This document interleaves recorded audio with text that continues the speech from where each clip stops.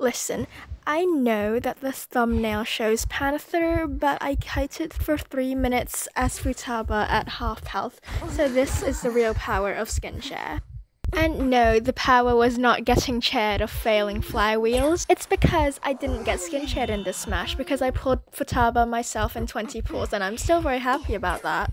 But now I have to spend money to awaken her and I hate NetEase for doing this to me. Not the panic flywheel, that is so me. It really is amazing how the hunter managed to let all of us rescue even if we were at half health and like the spot easiest stuff ever. Um, now that I think about it, I can't really be saying anything, and I won't tell you why since I'll spoil one of my later videos, but just know that I've been there before. Anyway, I wanted to show you some clips from before my kite so I can show you mechanic support. Her bot can do rescues, can decode, and is basically better than most little girl mains. Which is to say me, because I haven't played her in a long time. Maybe I should have a go at her just to make people suffer. Somehow I managed to make this rescue, which is honestly surprising because I'm sure you would have seen an orange blob crawling to the chair.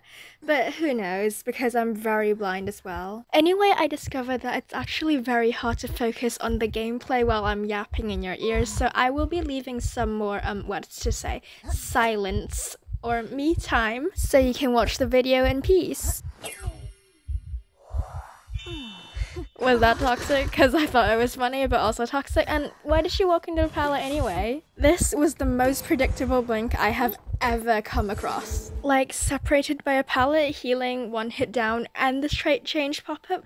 Like, what did you expect? At least I managed to predict it though. Imagine if I flywheeled and then got hit or terror shocked, that would be really embarrassing. Kite is coming up now, and spoiler alert, I abused the hell out of my speed boost, as you can see right here. Hey, would this be classified as raw kiting? No items, no whatsoever?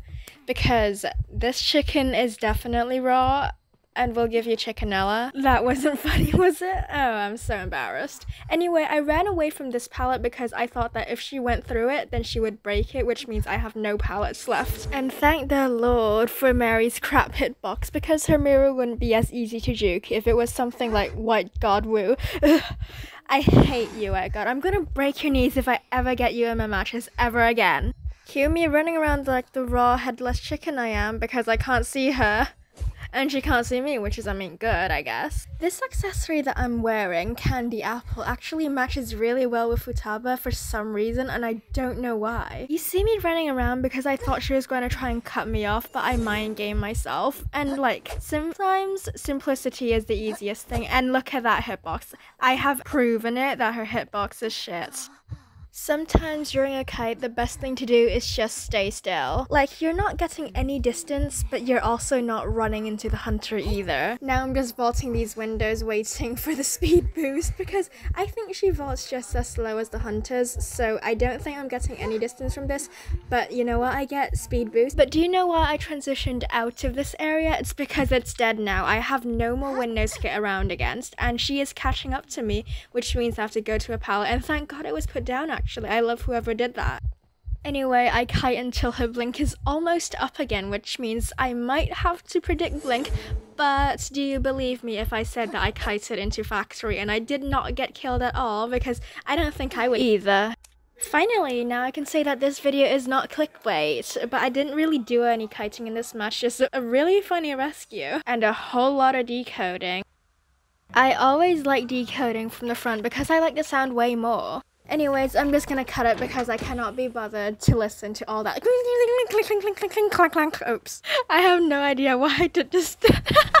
um, my excuse is that I was trying to be a um Cipher Machine uh, voice actor, so like yeah, uh, was that good? Can you recommend me to NetEase, please? and look who's here. Thank you to Raid Shadow Legends, I mean my wife, for sponsoring this video by skin sharing me Panther before the Persona 5 crossover came back. I mean, trust. I had the skins before the crossover came back. I mean, I don't think anyone would care. I don't either because it's back now. What are you gonna do about it? Delete it? No, you're not. All that things. Um, it was because I was walking away from my phone while doing it, and I am like speaking directly into the bottom of my phone, and I don't have a mic, so that's why my audio quality is so bad. But I'm not about to ask my parents for a mic because they would be like, "But you already have one."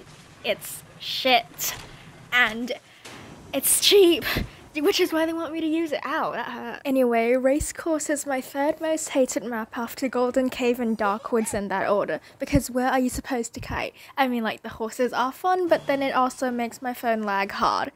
And by lag, I mean, I mean, um, lag harder than normal. Sorry, I had a rain fart there. And that, it makes my phone burn even harder. Yeah, my phone burns anyway. The way we all scattered when we got Heartbeat was so funny though. And um, I don't know how I failed the pallet stun here, but I failed it. And I'm very embarrassed about that. But hey, I was like, huh? Thank God he missed a Foggy Blade though. I would have been so embarrassed if that hit. And please stop wasting my boxes. I'm going to get you when I get you. I'm gonna get you. Yeah. When when the Jack got got. Yeah, yeah, he's gonna get got. Oh my god. This is like, trying saying this five times louder challenge. Not louder, faster. I am having a brain fart. I'm like texting and scripting at the same time. It's like texting and driving or driving and drinking, but less dangerous. Anyway, my boxes are gone now. I would not be a good female dancer main. Although I tell myself I'll main her if I get Anne Takamaki, but I'm not going to wail on Essence 1 because there is like a 4 out of 5 chance, or was it 3 out of 4? 4 out of 5 chance of getting a skin I don't even want to play and I would rather pull on Essence, what was it again, Essence 2 because there's more chance of me getting a skin that I actually want and there's less chance of me getting Ren because I don't play him but even if I got him, no, wait, no, he's an essence one. Even if I got Goro, it's fine because that just means my account value goes up higher. And yes, I am obsessed with accounts. No, I'm not. You have to step out of it, P.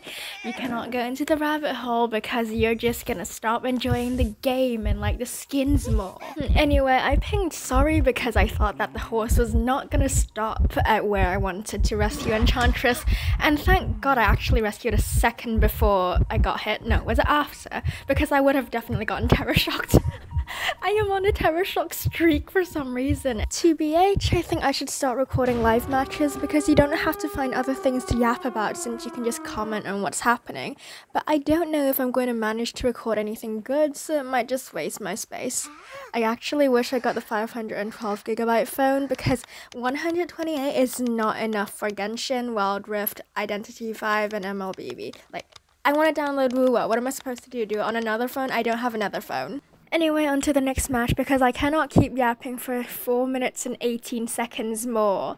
Now this, it was a Hellember endgame and you know how annoying his double puppet trick is. Just like, keep teleporting. It's gonna drag the match out to 30 minutes. It's not even Joseph top trying to be him. I mean, I have no idea why he didn't just teleport to the puppet and instead use the warp. Like, bro, I know when your warp is coming because one, there is a warning, and two, I can hear the sound. He chased me away from the gate and then put a new puppet there, so now I either have to dismantle it and then open the gate, which gives him time to come back, or decode the gate, which means he can teleport back, or find the dungeon, which I don't know the location of.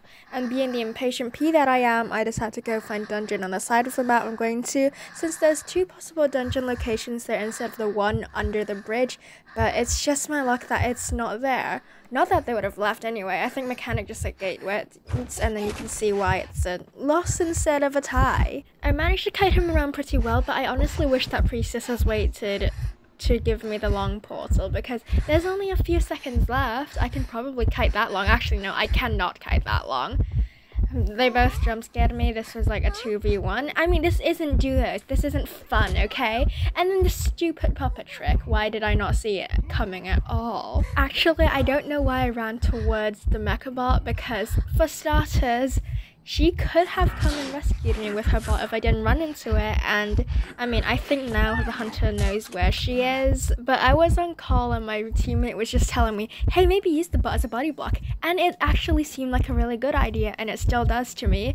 And you see how I'm paying Don't Rescue Me, but guess what the mechanic does? Just watch on because I am tired of yapping, please. I know I said I would stop yapping, but this is just a message. Uh, once I get through the replays that I've saved, I'll start posting live matches because it's easier to edit them since you can see the clicks and it just feels a bit more personal if you know what I mean. I don't really know the word I'm looking for to be honest. So, moral of the story skin share is not a save all, it's friendship, the power of friendship. Does anyone know My Little Pony? Oh, sorry. And it's listening to pings such as Don't Rescue Me when you're trying to rescue against a hunter of detention. I mean, I can't really get mad, it is just quick match and I don't play solo rank anyway. Anyway, Futaba pools, I mean Persona 5 pools, I hope you all have a great day and get the skin that you want, and goodbye!